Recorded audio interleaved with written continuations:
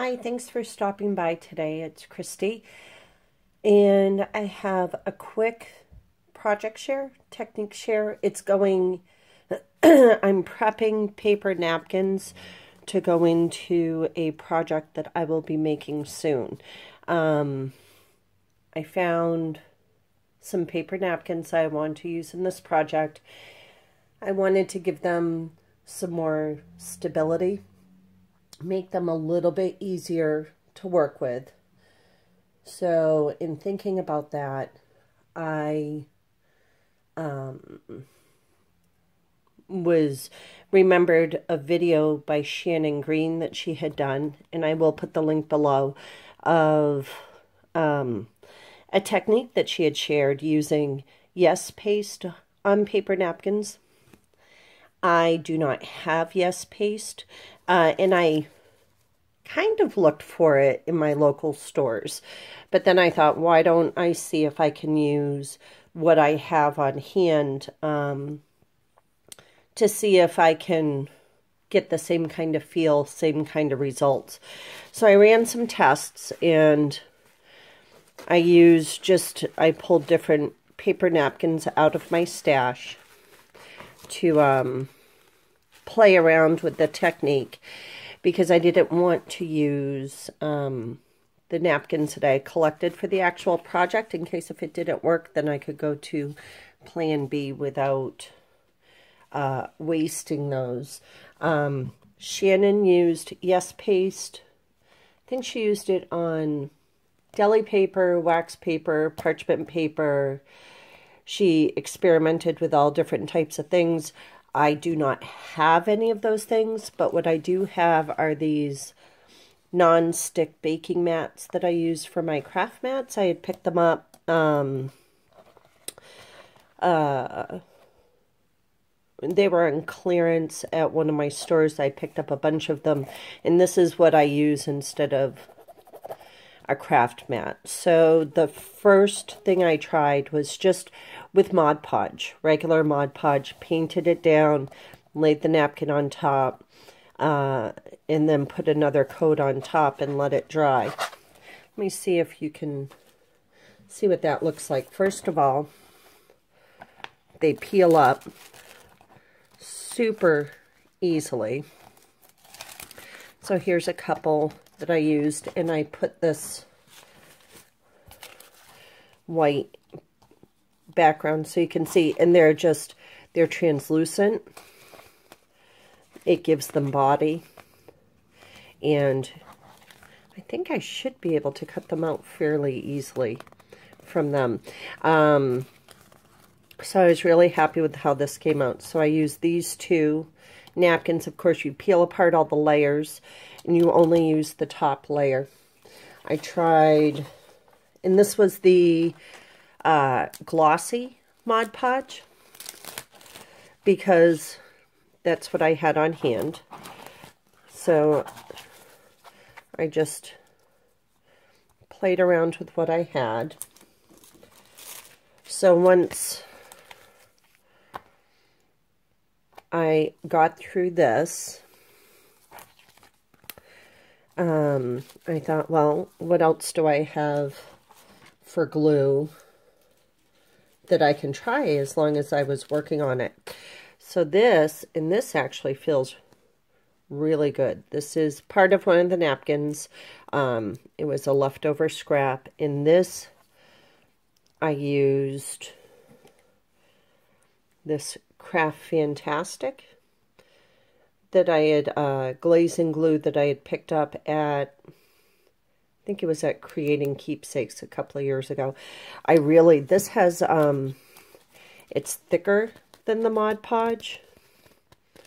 Uh, I, it feels just a little bit more substantial. So I liked how this came out. And then I thought, well, let me see if I can try, how about tacky glue? How would that work? So,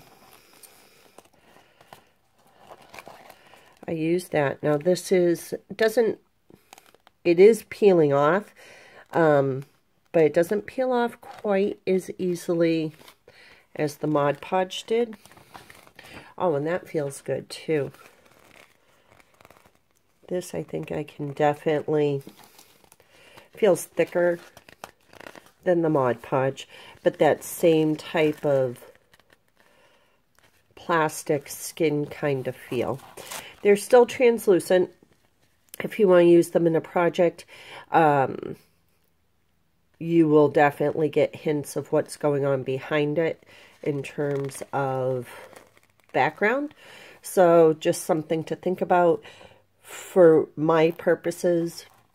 I think I'm putting the background on top of, or the napkins on top of a white background.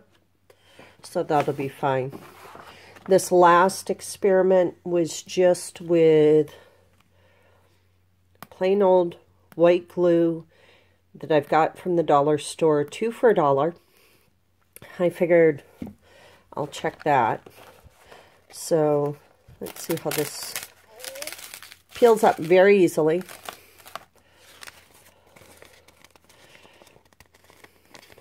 It's almost papery. Um, still substantial. I actually like the feel of this a lot too. It doesn't, um,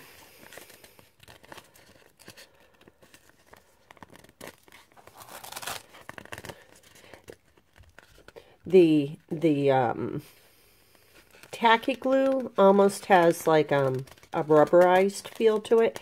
This does not, um, it still definitely would work for what I'm looking to use it for. Um, the price is right. 50 cents for this bottle of glue. So that's definitely a thought. Um, but let me show you. So that's what I experimented with. I did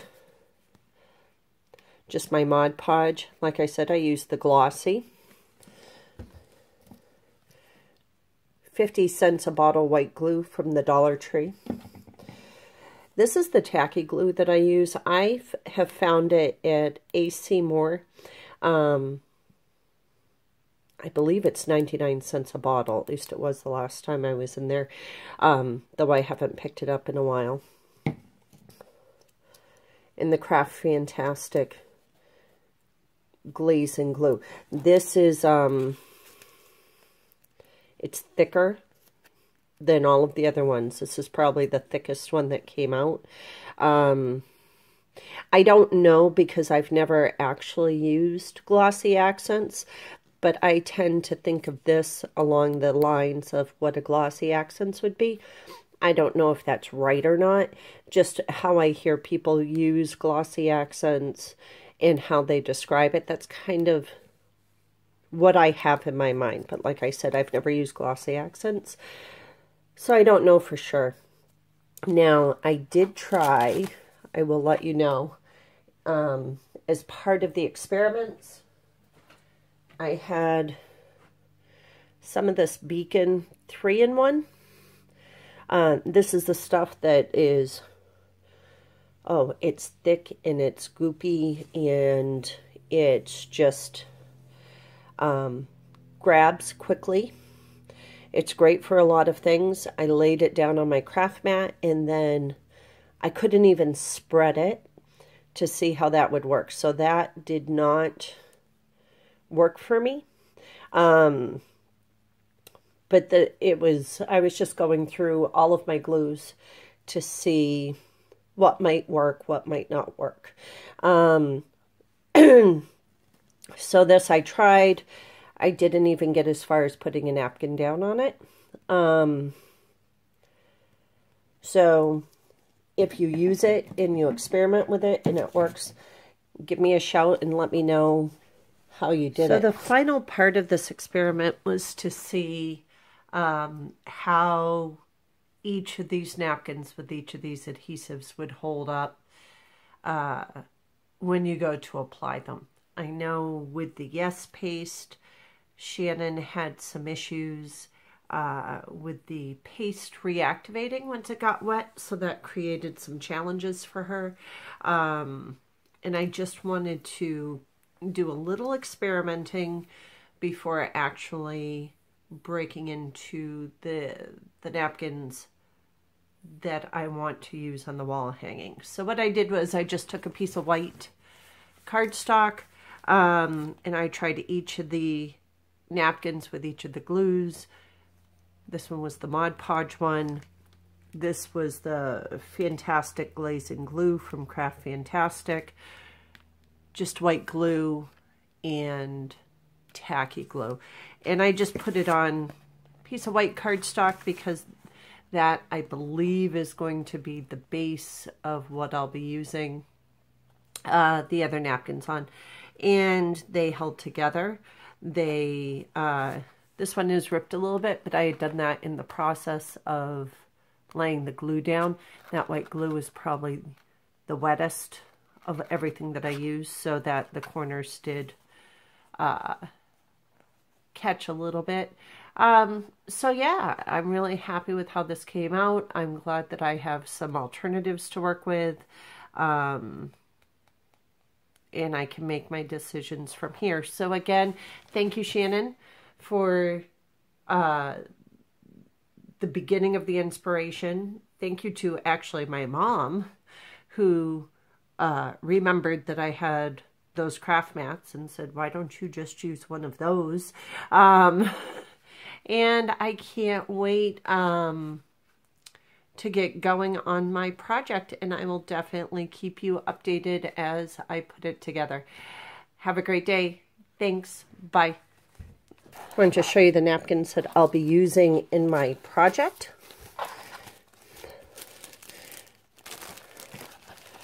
They're Mackenzie Childs. They coordinate, the pattern coordinates with something else that I have going on in the room that's going into.